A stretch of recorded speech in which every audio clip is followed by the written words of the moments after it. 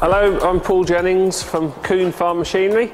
I'm the service uh, technician for the middle of the country.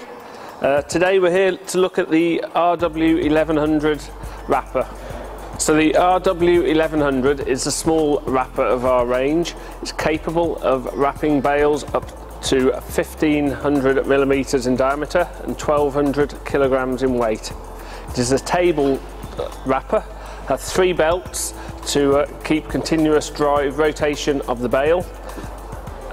It has a, a single dispenser on this machine, so the film sits in here and then we have two rollers to pre-stretch the film before it goes onto the bale.